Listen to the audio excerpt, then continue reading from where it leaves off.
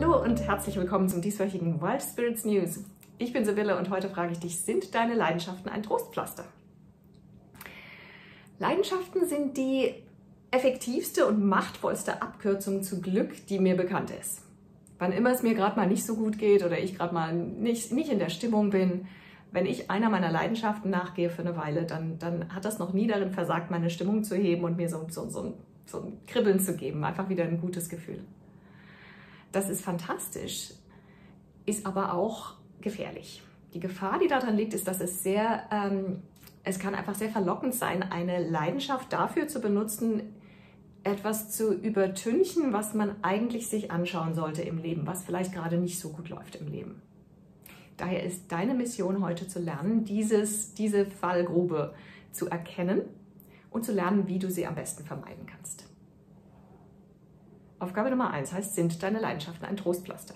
Wie schon gesagt, Leidenschaften können die Stimmung heben und ein, glücklicher, ein glückliches Gefühl geben und, und dass man wieder mehr in, sich in der Balance wieder mehr fühlt, mehr im Gleichgewicht wie vorher. Und das ist alles ganz fantastisch außer wenn man es eben missbraucht als sozusagen als wie eine Schmerztablette, die das alles so ein bisschen, die ein bisschen abstumpfen lässt gegenüber einem Problem, sagen wir mal, dass, dass wir in unserem Job nicht glücklich sind oder in unserer Beziehung oder dass irgendwo sonst im Leben was nicht so rund läuft, was wir eigentlich angehen sollten und wir nutzen halt die Leidenschaften und diesen, diesen, diesen Aufschwung, den uns das gibt, um länger in einer Situation zu bleiben, aus, die, aus der wir uns schon längst hätten befreien sollen. Das ist natürlich kontraproduktiv und das ist überhaupt nicht der Sinn der Sache. Um das also zu vermeiden, um zu erstmal musst du erstmal erkennen, ob du das, ob du deine Leidenschaften so, so verwendest. Schau dir dein Leben an, schau dir jeden Bereich deines Lebens an und schau dir an, wo du vielleicht eine Verbesserung ähm, nötig hättest in jedem Bereich deines Lebens. Beziehungen, Gesundheit, Finanzen. Wenn du, wenn du, genug, wenn du genug Englisch kannst, kannst du auch meinen äh, Live-Audit äh, machen. Den habe ich, der ist auf Englisch, der ist auf meiner Webseite. Ich mache den Link in die, in die Beschreibung. Unten ist natürlich in englischer Sprache, ist ein zehnminütiges Video. Das führt dich dazu, dass du, also es leitet dich an, dass du jeden einzelnen Bereich deines Lebens detailliert beurteilst, bewertest, wo du da gerade stehst. Und dann stellt sich sehr schnell heraus, wo du vielleicht ein bisschen hinschauen solltest und vielleicht ein bisschen dran arbeiten solltest übrigens. Das heißt nicht, dass, dass du nicht glücklich sein kannst und nicht deinen Leidenschaften nachgehen sollst, außer wenn du, wenn alles andere perfekt ist in deinem Leben. So ist es natürlich nicht gemeint. Das ist es nicht, was ich sage. Was ich sage ist, dass du verdienst, in jedem Bereich deines Lebens glücklich zu sein und, und das zu bekommen, was du, was du möchtest und nicht nur, nicht nur deine Leidenschaften dafür verwendest, dass eben alles andere vielleicht dann gerade in Bach runtergeht. Aufgabe Nummer zwei heißt, mach deine Leidenschaften zum Bonus, anstatt sie als Droge zu benutzen sozusagen. Es gibt einen Grund, warum meine Coaching-Programme alle nicht nur um Leidenschaft gehen. Natürlich ist das Thema Leidenschaften und, und Bestimmung. Aber die umfassen jeden Bereich des, deines Lebens oder des Lebens von meinen Klienten. Aus genau diesem Grund. Es nützt nichts, wenn du eine Priorität, wenn du die Leidenschaft, deine Leidenschaft oder Leidenschaften, wenn du ein Scanner bist, zur Priorität machst. Es nützt nichts, wenn du diese Priorität einfach den vielen anderen Prioritäten in deinem Leben hinzufügst und dich damit nur, nur stresst oder, oder wie gesagt etwas anderes übertünchst damit, was vielleicht gar nicht so gut läuft. Das ist nicht der Sinn der Sache. Und um das so zu, um, um wirklich die Leidenschaften so zu priorisieren, dass sie dich einfach nur zusätzlich glücklich machen, sozusagen als Tüpfelchen auf dem i, musst du etwas anderes musst du dein Leben ein bisschen entschleunigen und vereinfachen, generell, um diesen Raum auch zu schaffen. Dazu würde ich dich einladen, dass du entweder jetzt, du kannst das Video auch mal anhalten oder machst es nach dem Video, dass du dir ein bisschen Zeit nimmst, gerade so ein paar Minuten, dir was zum Schreiben nimmst, aufpasst, dass dich keiner stört für die Zeit und dir mal überlegst, was dir in deinem Leben wirklich wichtig ist. Was sind deine Prioritäten im Leben?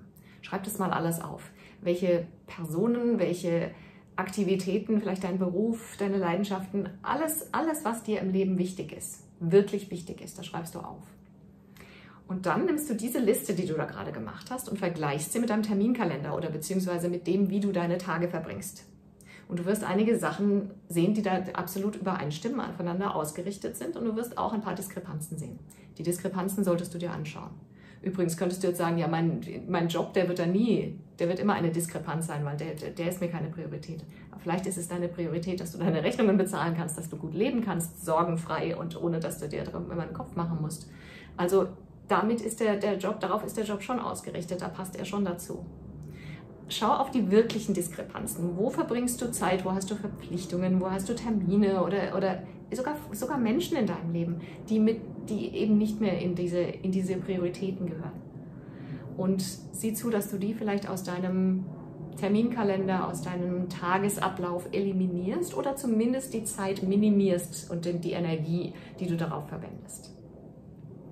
Und in diesen Freiräumen, in diesen geschaffenen Freiräumen, da ist der Platz für deine Prioritäten.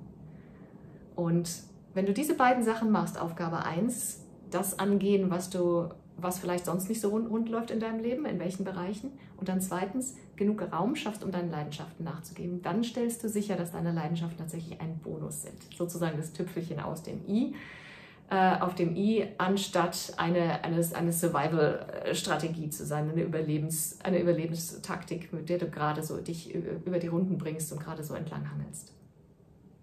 Das bringt mich zur Aufgabe 3, die heißt wie üblich, lass es mich wissen klick den Antworten-Knopf auf der E-Mail, wo du den Link zum Video bekommen hast und äh, sag mir, wie sehr sind deine Leidenschaften Priorität? Hast du vielleicht schon mal Leidenschaften so benutzt, so als, äh, als Pflaster? Ich habe es definitiv schon gemacht, mindestens einmal in meinem Leben. Ähm, welche Strategien möchtest du anwenden? Was tust du, um deine Leidenschaften zur Priorität zu machen in deinem Leben? Ich würde furchtbar gern von dir hören, werde auf jede E-Mail auch antworten. Auch wenn du Fragen hast, kannst du sie auch gerne stellen, die beantworte ich auch. Und wenn du die, den Link zum Video nicht in einer E-Mail bekommen hast, heißt es, dass du noch nicht Teil der Gemeinschaft der wilden Geister bist und auf jeden Fall zu uns kommen musst. Geh auf wildspiritscoaching.com-de und füll das kleine Formular aus. Du bekommst eine E-Mail in der Woche, ist 100% spamfrei. Du erhältst zusätzliche Informationen und Artikel, Empfehlungen von Büchern und anderen Ressourcen und manchmal bekommst du exklusive Angebote, die nur für meine Abonnenten sind, die niemand sonst je zu Gesicht bekommt. Also geh auf wildspiritscoaching.com-de und melde dich an. Oder du kannst auch Wild Spirits Coaching googeln, das bringt dich auch auf meiner Webseite. Danke fürs Zusehen.